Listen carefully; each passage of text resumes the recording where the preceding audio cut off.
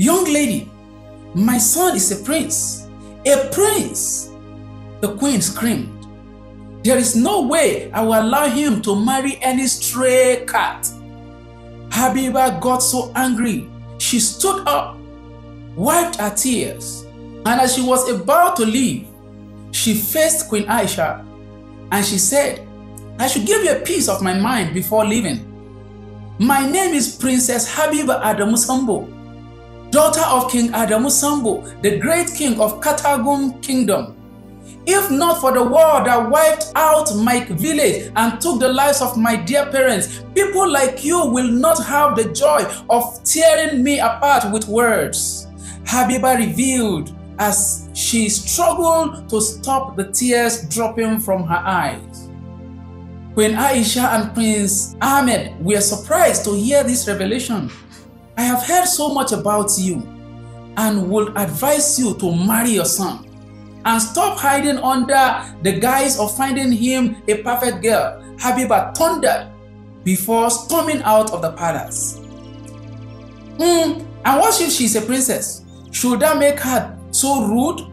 This is exactly why I said you can't marry that girl. She has a temper. Mother, I think you were too harsh on her. I have to go after her, the prince said while rushing out. He ignored his mother who kept calling him to come back. Prince Ahmed couldn't catch up with Habiba, so he decided to go to her house, but she wasn't there when he arrived. He waited from that afternoon till night when she returned. After several hours of waiting, Habiba finally came home. She was surprised to see the prince standing in front of her house. What are you doing here? She asked firmly. Is it a crime that I have come to see you? Prince Ahmed replied. But your mother made it clear in your presence that I am not suitable for you, and all you did was watch. Habiba fired back. I am sorry about how my mother treated you. Let's go in and sort this all out, please. Ahmed pleaded. You are no longer Habiba couldn't finish her words as she rushed aside and vomited heavily. Prince Ahmed rushed to help her, but she instantly rejected his help as she pushed him again. She got the urge to vomit again and felt so weak and light. The prince had to help her inside this time. He got her water, changed her clothes, and took care of her that night. The following morning, Prince Ahmed summoned the palace physician and it was confirmed that Habiba was pregnant, carrying the precious seed of the prince. She was so sad about this news because she had no intention of getting married to the father. Prince Ahmed, on the other hand, was overjoyed with excitement at the sound of the news. He got so excited and gave Habiba a kiss. Why are you so excited? Your mother doesn't want us together, remember? Habiba, this is good news. Of course, I can't contain my joy. Please don't worry about my mother. She knows a royal baby belongs to the royal palace, Ahmed said joyfully. Habiba looked displeased. Every minute she pondered if she should just run away with her unborn child. Her mother's word kept ringing in her head. When Habiba's mother was alive, she always told every maiden that had ears that it is dangerous to have an in-law that does not love you. Habiba was confused because it is quite clear her future mother-in-law hates her, but she is pregnant for her son. This was a dilemma she suffered for days. I don't want my child to be without a father, but will I be able to cope with this hell on earth of a marriage? Because marrying into a family where your mother-in-law hates you is very serious problem. Habiba kept asking herself as she ponders on what next she will do. Prince Ahmed hurriedly rushed home into his mother's chamber to share the good news with her. But the queen almost fainted upon hearing the news. It was like her world was crumbling before her. How dare you do this, Ahmed? She yelled at him. You are a disappointment, a disgrace, and a betrayer. With all I have done for you, this is how you intend to pay me for all my sacrifices. She ordered him out of her sight and out of her chambers and told the guards not to let him in. Ahmed pleaded with his mother from behind the door. Mother, please listen to me. I need you at this time in my life. Take him away! She shouted, sobbing deeply and wondering what she could do.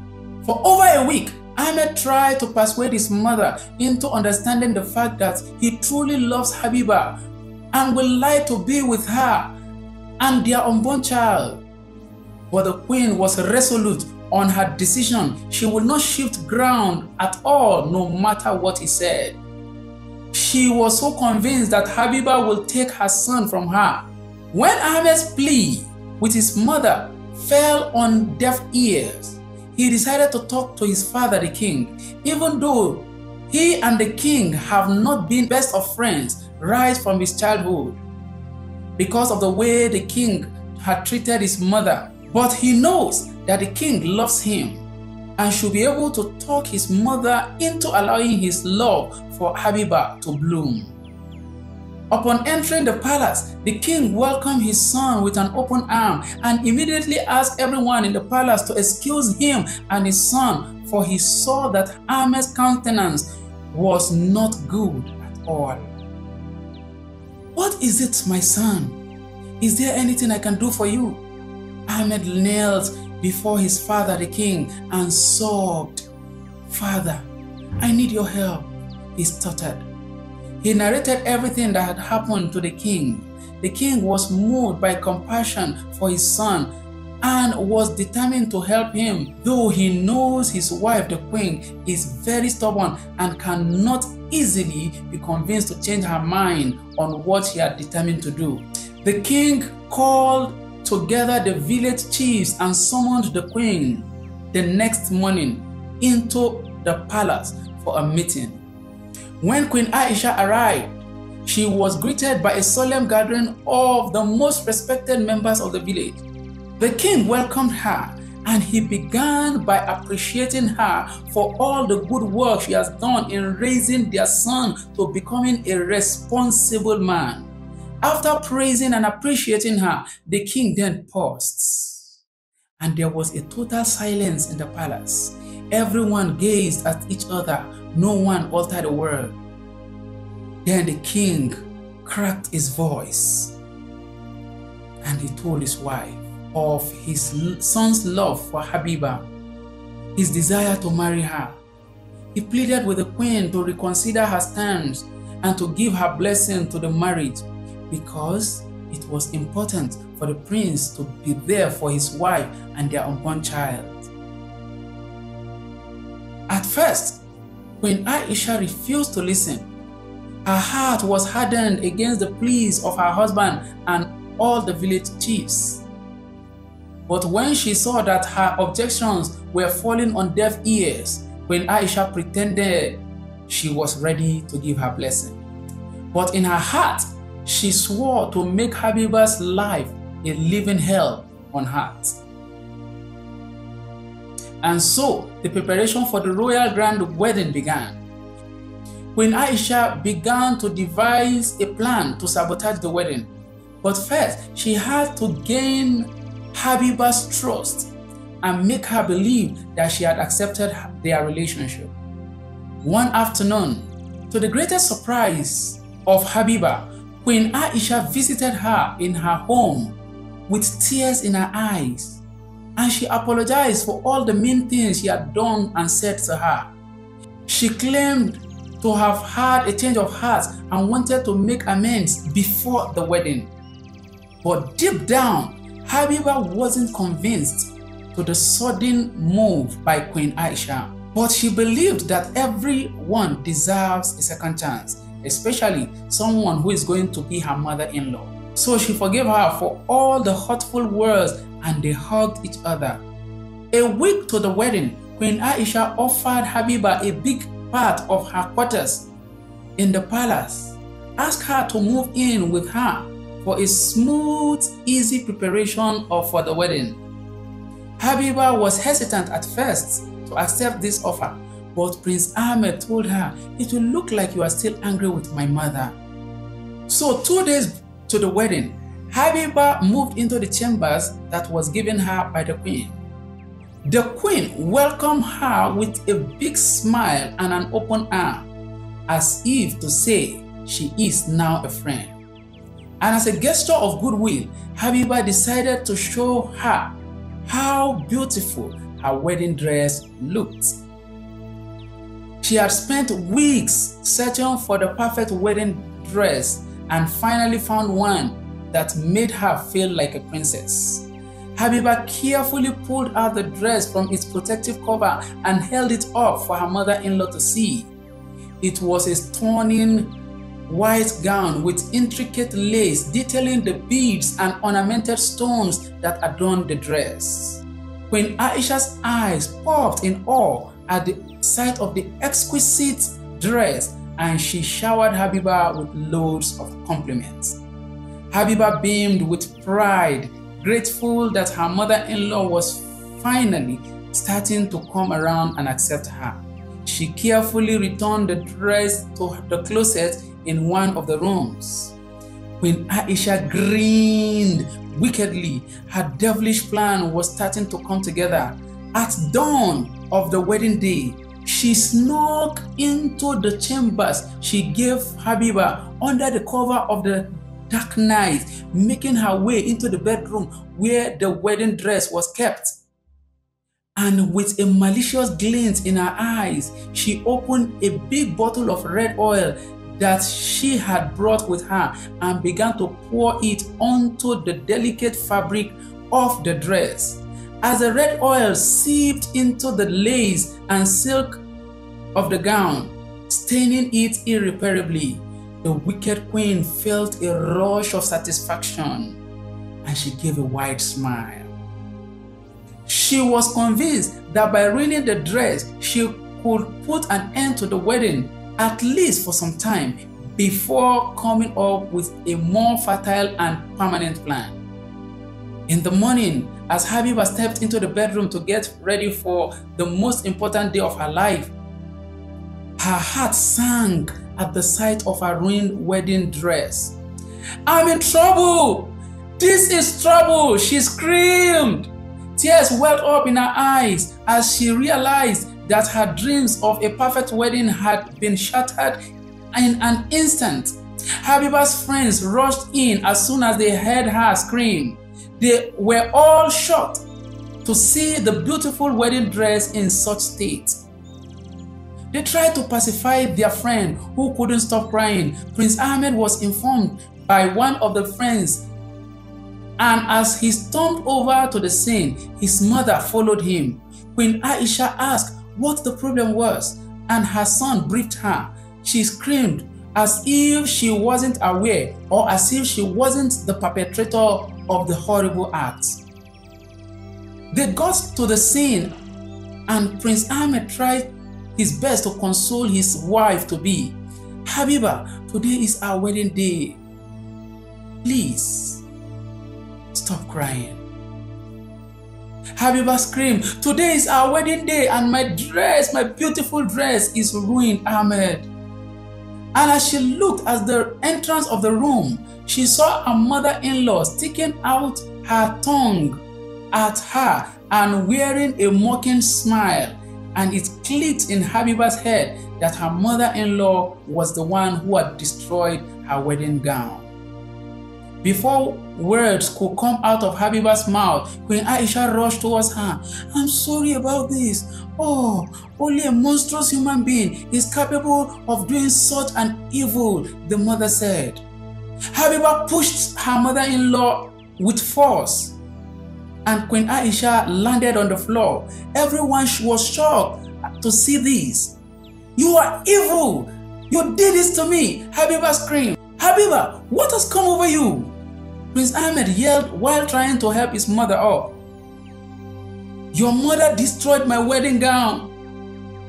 What did I ever do to her? Habiba asked. I know what happened to your dress is cruel, but you didn't have to pin this on my mother. Ahmed thundered.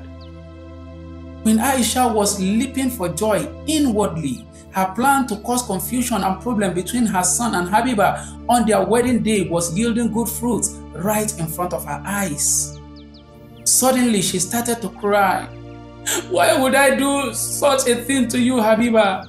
I accepted you and I love you like my own daughter. I don't even stay in this part of the chamber. Queen Aisha said, building on her webs of lies. No one believed Habiba, not even her friends. They all felt she was just finding fault in someone or looking for someone to blame. If I am getting this horrible treatment before marrying your son, what will be my fate after the wedding? Habiba cried. This sign is big enough for me to run. There will be no wedding, Habiba added firmly. They all started begging her not to cancel the wedding. The king heard of what had happened and summoned Habiba to the palace, hoping to get to the bottom of the situation. The king listened intently as Habiba explained everything that had happened. She told him about her ruined wedding dress and how no one had believed her. She also shared her suspicion about the queen, Queen Aisha, being the culprit. The king was shocked by the accusation against his wife, but he couldn't ignore Habiba's pain and disappointment.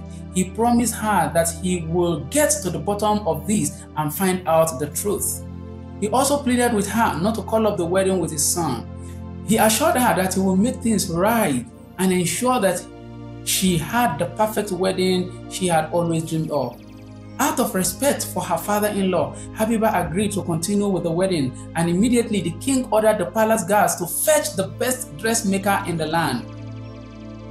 Prince Ahmed was waiting for Habiba outside the king's court and as soon as she stepped out, he apologized for making her angry and tried to convince her that someone else ruined the dress, not his mother. In no time, a new wedding dress was made for Habiba and as the wedding guests started to arrive at the palace, Zainab, the only family Habiba had left of her mother's family, also arrived. Habiba was surprised to see Zainab. You made it to my wedding. It's been two years since she saw her aunt and it made her feel so emotional. With the help of her friends and a new wedding dress from the king, Habiba was set to get married to Prince Ahmed. It was indeed a colorful wedding that left the entire village spellbound. The king also gave the new couple a beautiful mansion as a wedding gift. This made Habiba so happy because the thought of living with her wicked mother-in-law sent shivers down her spine. Two days after their wedding, Prince Ahmed and Habiba moved into their beautiful home. Queen Aisha was very angry about her son being far away from her but being a master manipulator, she used every trick in the book to ensure that her son remained completely devoted to her. She would pretend to be sick, asking Ahmed to come over to her house every day to take care of her, leaving poor Habiba alone and helpless in their home. Habiba, being pregnant with their first child, found herself left alone to take care of herself and the pregnancy while her husband catered for his mother's every whim. One hot afternoon, Habiba, now six months pregnant, was busy cooking. She heard a knock on the door. Her mother-in-law Aisha stood at the entrance with a sickly look on her face. Come on, mother, Prince Ahmed said, concern evident in his voice. What is wrong? Are you feeling okay? Queen Aisha coughed dramatically and stumbled into the kitchen, clutching her hand on her chest. Habiba knew it was all part of her trick to keep her husband all to herself and away from her. I think I have a fever, Queen Aisha said. I need you to take care of me. Prince Ahmed immediately sprung into action. Habiba bit her lip in frustration as she watched her husband dot on his mother while she struggled to stand on her feet by herself. Queen Aisha shot Habiba a mocking look, knowing fully well the power she held over her son for the next few days. Queen Aisha made herself at home in Ahmed and Habiba's house. She refused to lift a finger to help around the house, claiming she was too weak to do anything. Instead, she demanded that Prince Ahmed wait on her, massaging her foot and hands, bringing her meals in bed, and fluffing her pillows. Habiba tried to keep her cool, knowing that Ahmed felt obligated to care for his mother. But as the days turned into weeks, her mother's behavior became increasingly unbearable. She made smart comments about Habiba's cooking, criticized the way she decorated the house, and even went so far as to rearrange the furniture in the house. Hmm. But the worst part of it all was how Queen Aisha monopolized her son's time and attention. Every spare moment he had, he spent with his mother, listening to her complaints and tending to her every need. Habiba felt like a second class citizen in her own home. Pushed to the sideline while her husband lavished all his attention on his wicked mother. One day, Habiba had finally had enough. She confronted Prince Ahmed about his mother's behavior, pouring out her frustration and begging him to see how his mother was manipulating him. But Prince Ahmed was blind to see his mother's faults, choosing to believe his mother over his wife's protests. I can't believe you were treating my mother this way, Prince Ahmed said, glaring at Habiba. She's sick and needs help. Can't you see that? With tears in her eyes, Habiba stormed out of the room. The following day, Queen Aisha saw Habiba eating and immediately she said, No wonder you look so fat. It is because you eat too much. Don't finish my son's money. Habiba felt triggered but tried to keep her cool. She pondered day and night thinking of a solution to the nightmare she had found herself in. Her mother-in-law is making marriage a living hell for her. She complained about everything, called her a bad cook, dirty girl, fat pig, and every mean thing you could think of. But above all, her husband doesn't have her time despite her being pregnant. Three months after Aisha finally left their home, Habiba was finally having a bit of fresh air and eagerly waiting the birth of her child when her mother-in-law struck again. Hmm. This time, Queen Aisha went to the extreme to ensure that Ahmed will never leave her side. She connived with the palace physician, claiming that she had a terminal disease and only had a few months more to live. Ahmed, devastated by the news, immediately rushed to his mother, leaving Habiba alone in their home. The same night, Habiba went into labor. She found herself faced with an impossible choice. She was unable to reach Ahmed, who was busy attending to his mother's supposed illness. But Habiba was a strong and determined woman, and she knew that she had to fight for herself and her unborn child. With the help of the two royal guards stationed at their house, Habiba managed to make it to the midwife's place where she gave birth to a beautiful baby girl. As she held her daughter in her hand for the very first time, Habiba felt a surge of strength and determination. There and then, she came up with a plan to solve her problems with her husband and his mother. When Ahmed finally arrived at the midwife's place, he was greeted by a beautiful sight he had never expected.